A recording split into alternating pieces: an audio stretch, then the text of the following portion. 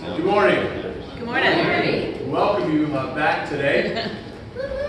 Some of you are new this morning, and all of you feel like new. It's been so long since we've been together, so we're so thankful that we have this opportunity to gather together and to see you. We're, we're, we're family, and we we know there's still many who still can't be here with us because of, of the virus, uh, and it's still not safe for them to come out, and, that's okay. We want to encourage them. I would encourage you. You see people that can't be here to take an extra effort to just reach out to them because you know how it, it feels to not be connected for so long and then for us to come back together and still not be able to do that. You know, make that effort this week to maybe connect with them a little bit and just say hello, tell them you missed them. You notice somebody's not here, uh, uh, do that. We, we appreciate that. It's just a way for us to continue to be connected. So thank you. We were hoping to be live this morning for the first time, and we're not. So it's still issues aren't worked out. We're working on that because people can't be here. But so we're just recording today. Um, just a couple of things. I um, lawyers told us we had to do this, so I'm doing this just to fill in. Okay. If you uh, if you break these rules, they're not rules; they're suggestions. If you break them, that's your choice. But we're telling you what we've been told to recommend, okay? Everybody has freedom to, to, and rights to do what they want, but um, we do ask for, for limited to no contact with each other and for you to sit in family units. We know we've already talked, some of you are um, already uh, have contaminated each other. And so, um, you know, and if, if pews are filled, there. Um, you can you know, sit on the inside or outside. You can find a, a spot there be in if there's a somewhere that uh, not taken. Um, it leaves us with, I know, not as much room, or maybe, yeah, somebody can move in. We need a little space somewhere. Um, but we want you to know we're not requiring you to wear masks. They are recommended, especially when we're singing, because that is a time where more uh, more likely for us to expel something that people can catch. Again, Nobody, uh, there's no mask police or anything. Nobody's going to come and make you wear them, but that's just a you know suggestion. The science is back and forth. Some say it's worse. Some say I don't think any of us really know. And so it's just a precaution to keep people safe.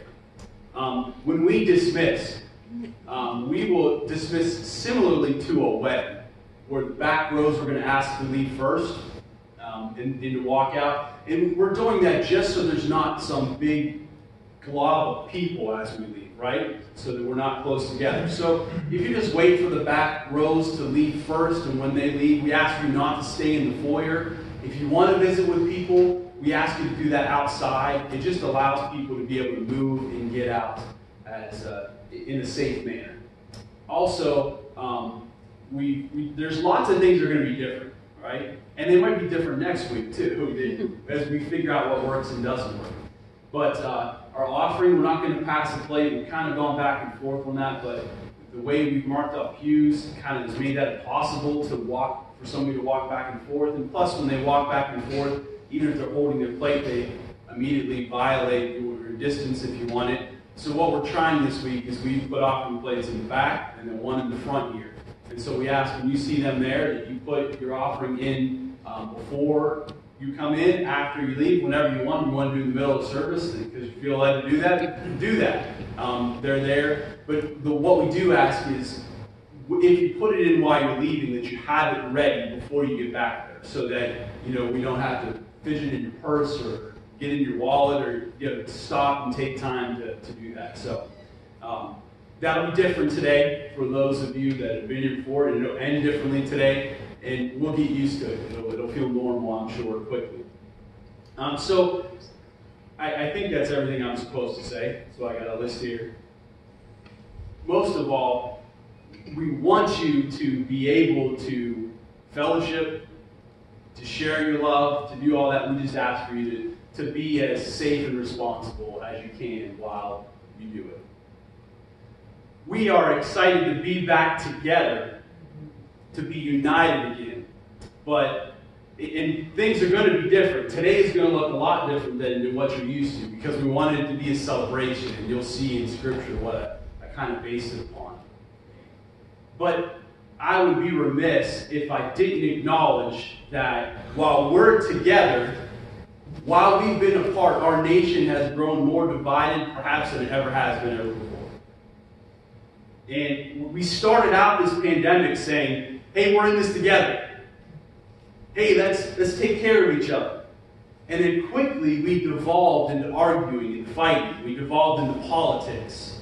And we started arguing about whether a virus was real or not, whether we should wear masks or not, what we should do and shouldn't do, whether businesses and churches should be open or closed. And we, we began to argue back and forth and we grew divided.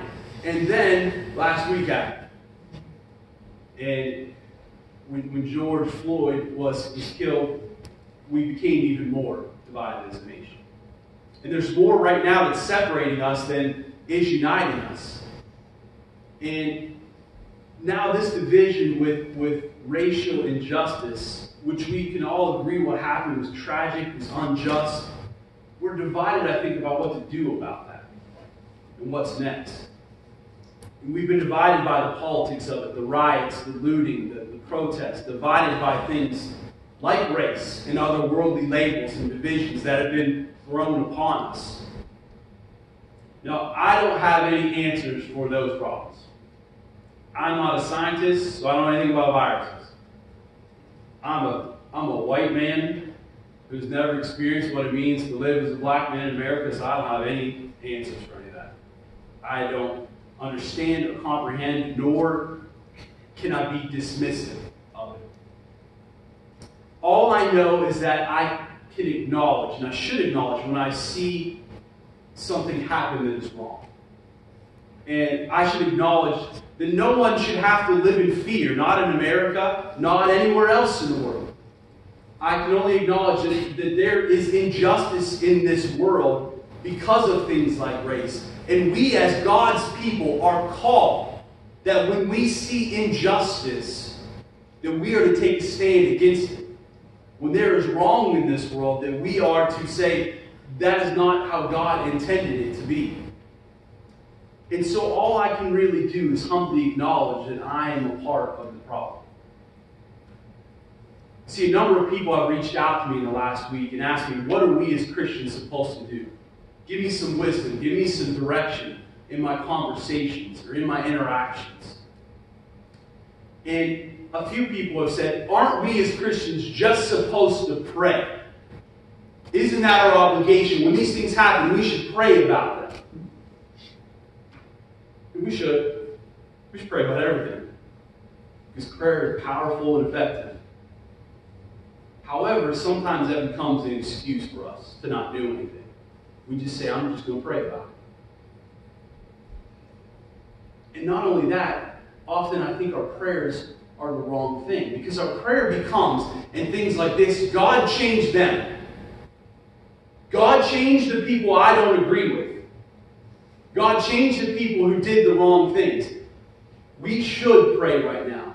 But if our prayer right now doesn't begin and end with God change me, then we're praying the wrong thing, friends.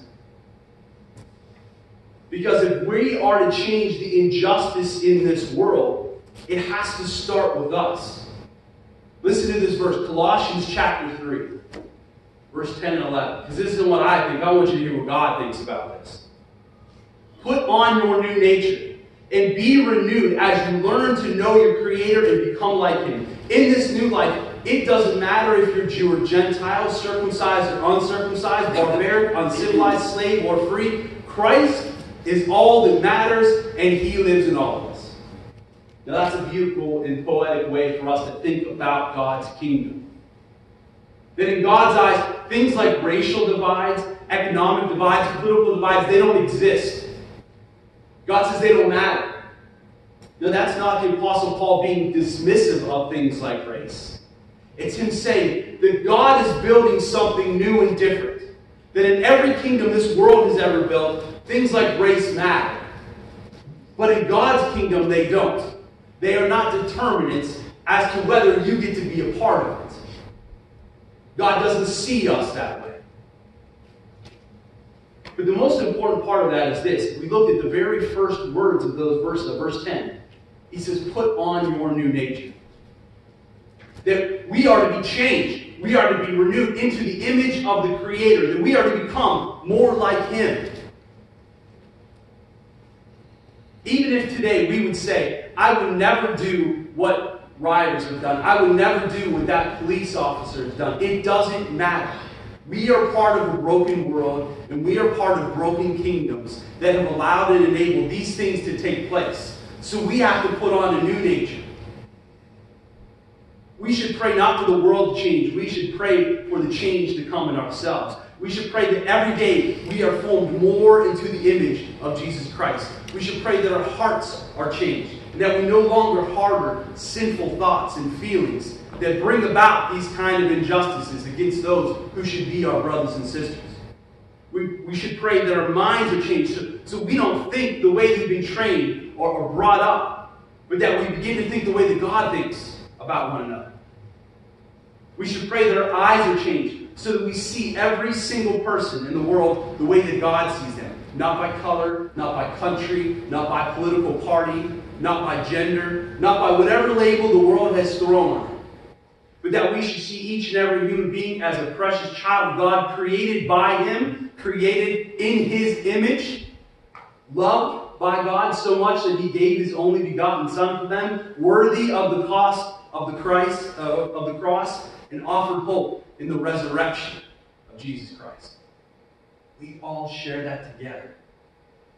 No matter what we think, no matter what we look like, no matter where we come from. Those truths should change us. So may our prayer today not be for the world to change. May our prayer be today that God would change us so that we, His people, His church, would change the world. Let's pray for that today. Let's thank God that He's brought us here, that we know He is here. And that He would, as we are coming together today, that He would work through us through his people, through his church, so that this nation and this world will become more united together as well. Let's pray. Father God, we thank you today that we know that you are here with us. We thank you for this opportunity to gather together in your name. We had taken that for granted for so long. And now we thank you that you brought us back together in this place we ask now that your Holy Spirit would fill this place, that you would fill our hearts, that you would begin to work in us, that you would begin to move in us, that you would begin to change us. Because we ask for forgiveness for the times and the ways that we have contributed to the broken things of this world, to the sinful things of this world, to the things that have divided us as people. We pray that you would bring us together in a way that reflects you, in a way that reflects your goodness and grace. Not for our good and gain, but so that others might see it and come to hear the truth that they are loved by the same Creator, no matter what they look like. They are offered the same hope and salvation in Jesus Christ. We thank you for that hope today. We pray as you work to change in us, that we might change the world for you. We pray now that you speak to us through your word, that you soften our hearts and open our ears, that we might be ready to receive what you have for us. We pray that you would begin to work that change in our lives even now as we come to worship you. We pray all these things in the name of your Son, Jesus Christ. Amen. Amen. for a while, if you joined us um, on the, the services that we had recorded, since Easter, we've been looking at the prophet Jeremiah. And the prophet Jeremiah offered us passages that call for repentance, that uh, passages of grief, passages of hope, because Jeremiah was writing to people who were in the middle of an exile, much like we were in the middle of a quarantine. But those people don't stay in exile forever. They come back. And they come back to Jerusalem. In the books of Ezra and Nehemiah in the Old Testament are the history of how God's people come back and rebuild after they've been in quarantine. And in Nehemiah, uh, starting in chapter 8, they rebuilt the walls. Nehemiah comes back, he builds the walls, And then they all get to come back together, just like we are today, and they worship. Now, their first worship service lasted about a week. So we're not going to completely copy what they do, okay? but I do want to use those passages as our guide to look at what they did. To celebrate this morning, this fact that we've been able to come back together. And here's what Nehemiah 8, verse 1 says In October, when the Israelites had settled in their towns, all the people assembled with a unified purpose at the square just inside the water gate. They asked Ezra the scribe to bring out the books of the law of Moses, which the Lord had given for Israel to obey. They bring out the word of God, and they read it for a week because they hadn't heard it and they didn't know it. And all these things happen. Ezra begins to bring out the, the Word of God, the scroll, and he opens it up. And he would praise God, and the people would shout, Amen, Amen, which means truly, truly. They were acknowledging that this was true. Everything they'd heard before in their lives wasn't. And finally, they were hearing truth. And they would fall on their faces and humbly worship. And then they would start to weep. And Nehemiah would stop the service. He would come out and he would say, Stop mourning. This is in verse, uh, after verse 8, starting in verse 9. He says, Stop mourning, stop crying. This is not a day of mourning, this is a day of joy. Verse 10 is where we get that phrase For the joy of the Lord is our strength. We're celebrating today. But at the same time, we want, like them, to be reminded through the Word of God of who He is. In fact, they, they're reading through it and they realize that they were in the middle of one of the feasts they were supposed to have been celebrating that they haven't celebrated in generations. And they said, Stop. We got to do what God says. And they start setting up and celebrate that feast. It says, for the first time the way it was supposed to since the days of Joshua.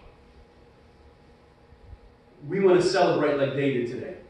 And we're going to do that by just focusing on His Word, not from here and from me, but listening to the Word of God and praising God throughout it as we read it. So I want to begin today reading His Word, and I want you just to listen to it as we read it. And let God speak to you through it. Because we believe the Word of God speaks to us. You don't need me to speak to you, we want God to speak to us. So I want you just to take a moment in silence, just to quiet hearts, just 30 seconds. Then I'm going to read you God's Word. And as I read God's Word, I want you to listen to what it says about who God is. Listen, what praiseworthy attributes of God do you hear and what God's people express for Him in this passage? Just listen and let God speak to your heart about that. What can we give God praise for what He's done here? Take 30 seconds, ready your hearts, and then hear from His Word.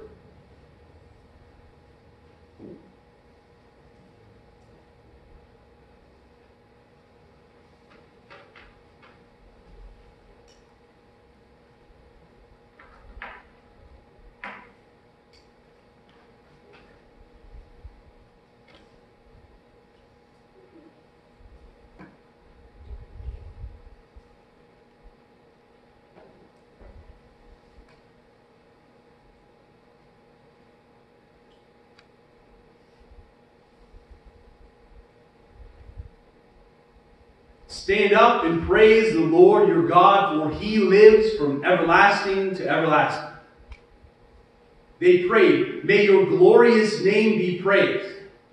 May it be exalted above all blessing and praise. You alone are the Lord. You made the skies and the heavens and the stars. You made the earth and the seas and everything in them. You preserve them all even the angels of heaven worship you. You are the Lord God, who chose Abram and brought him from Ur of the Chaldeans and renamed him Abraham. When he had proved himself faithful, you made a covenant with him to give him and his descendants the land of the Canaanites, Hittites, Amorites, Perizzites, Jebusites, and Girgashites. And you have done what you promised, for you are always true to your words. You saw the misery of your ancestors in Egypt and you heard their cries from beside the Red Sea. You displayed miraculous signs and wonders against Pharaoh, his officials, and all his people. for you knew how arrogantly they were treating our ancestors. You have a glorious reputation that has never been forgotten. You divided the sea for your people so they could walk through on dry land, and then you hurled their enemies into the depths of the sea. They sank like stones beneath the mighty waters. You led our ancestors by a pillar of cloud during the day and a pillar of fire at night so that they could find their way. You came down to Mount Sinai and you spoke to them from heaven. You gave them regulations and instructions that were just, and decrees and commands that were good. You instructed them concerning your holy Sabbath, and you commanded them through Moses your servant to obey all your commands, decrees, and instructions. You gave them bread from heaven when they were hungry, water from the rock when they were thirsty. You commanded them to go and take possession of the land you had sworn to give them.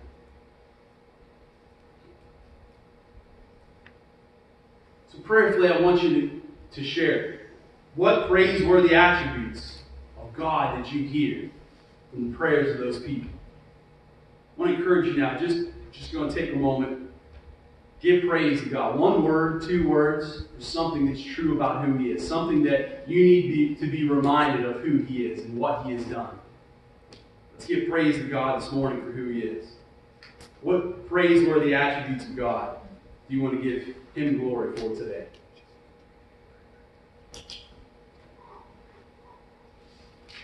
He's faithful.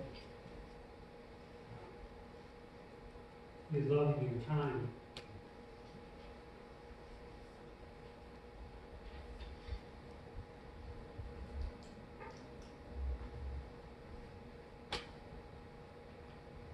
Provides.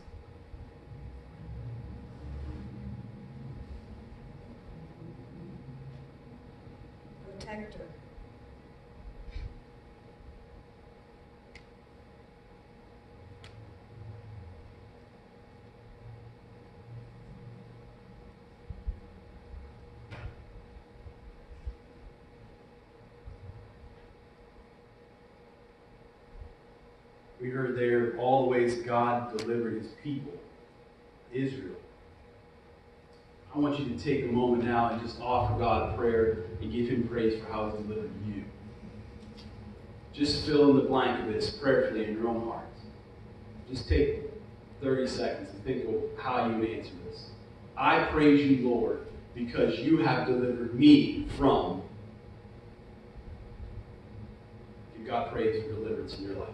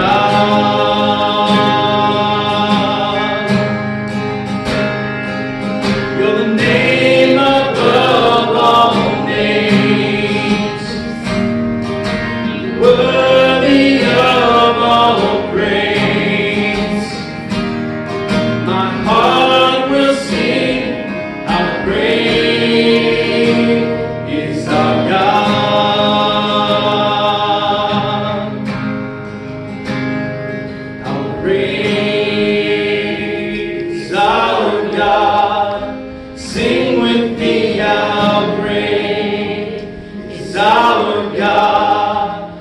Oh, we'll see how great, how great is our God.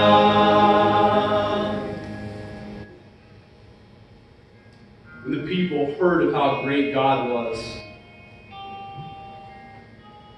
they continued, but our ancestors were proud and stubborn. They paid no attention to your commands. They refused to obey and did not remember the miracles you had done for them. Instead, they became stubborn and appointed a leader to take them back to their slavery in Egypt. When they were reminded how great that God was and all He'd done for them, immediately they remembered that they had not been faithful to Him. When we catch a glimpse of who God has been in our lives, what it should do is it should cause us to reflect on who we have been. It should lead us to confess our stubbornness, our unfaithfulness, how we have forgotten God in places in our lives. It should cause us to re- remind us how much we need God, but how much we live as if we don't. And so today I want you to take a moment and, and just pray this prayer, fill it in. I confess that I have refused to remember God and what God has done for me at this time, at this place, in this relationship? Where have you forgotten God? And you need to be reminded. Take a moment and let God speak to your heart about that today.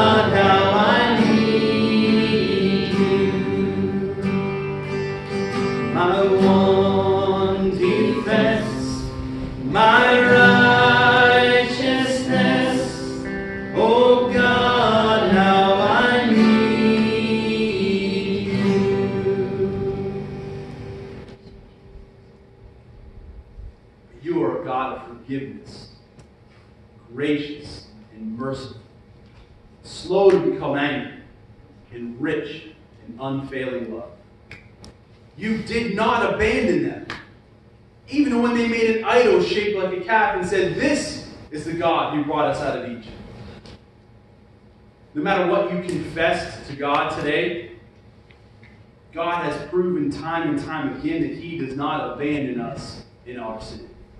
His grace is great. He's full of forgiveness, grace, and mercy. He's full of all that you need from Him. So, because of that, what that means is that God is here and we can bring our requests to Him. So, what do you need today from the God who created you, from the God who calls you His child, from the God who keeps His promise, who rescued you and freed you from slavery to your sin, and now speaks to your heart? So, prayerfully answer this today. Because you are good, God, I seek this from you today.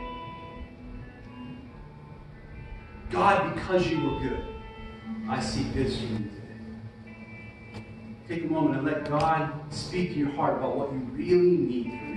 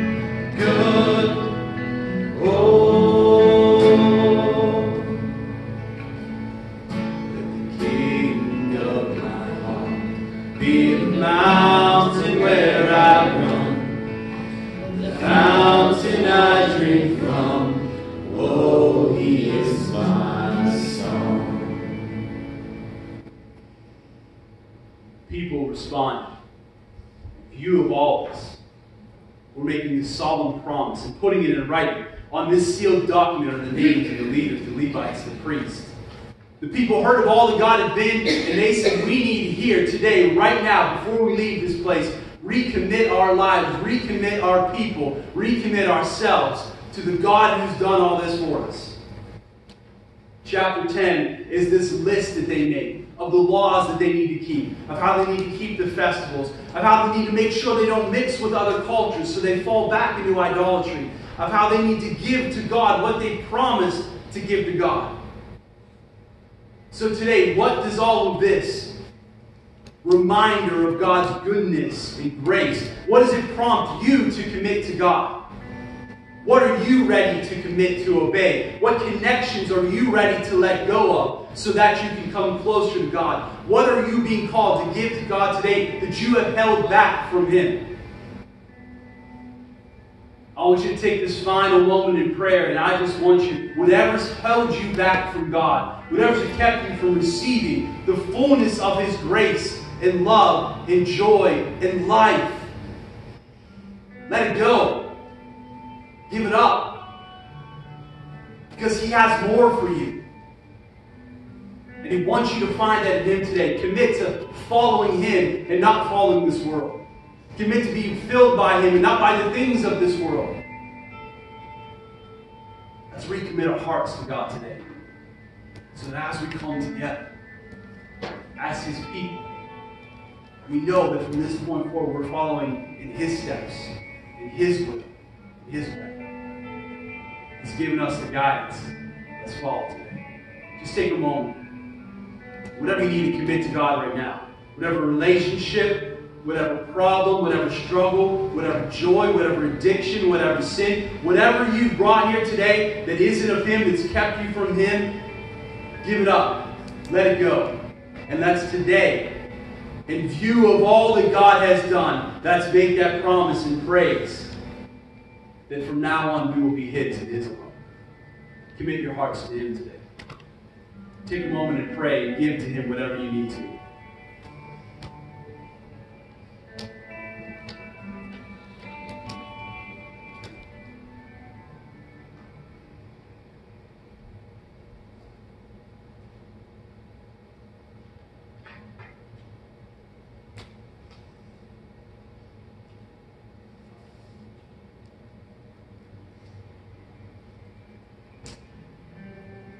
Father God, we come as your people today. Recognizing that every person in this room was created by you in your image, was created with the need for you and your salvation. And each and every one of us here has looked for that in something else. Maybe we are still right now. So, in this moment, Give us the strength to let that go. Give us the strength to leave behind the sin, the brokenness, the addiction, the pain, the grief, the guilt, the worry, the depression, the anxiety, the fear, those things that have held us back. May we stop trying to find life in them. May we find life in you and in you alone. Give us the strength to let go today. So that we can fully grab a hold of you and what you have for us. Pray these things in the powerful name of your Son, Jesus Christ. Amen. Amen. We're going to finish today with a song of praise.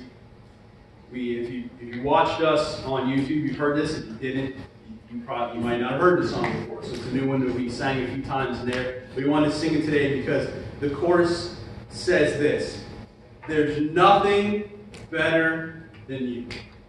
God, there's nothing better than you. And that's what we're proclaiming here today, right?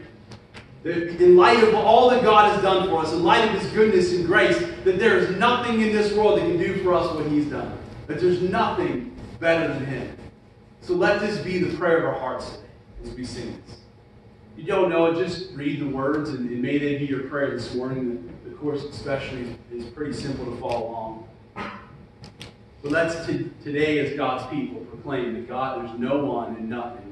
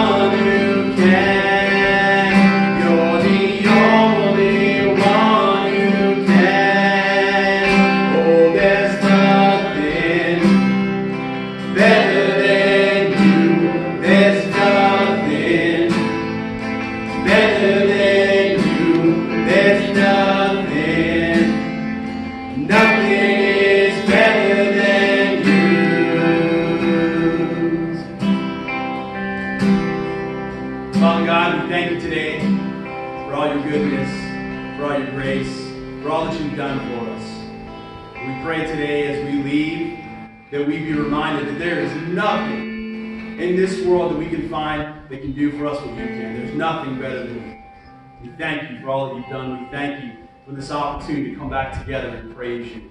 We leave here today as your people, recommitting our hearts and lives to you, and ready to change the world because of the change you've made in us. Pray all these things today in the name of your Son, Jesus Christ. Amen. Amen. We're going to keep playing, okay? And you guys can start leaving in the back and dismiss. We don't want to be uncomfortable, so we're going to play. You can sing with us as you, as you stay there. You can talk while you're there.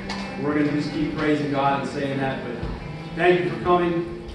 Love you all. See you next week.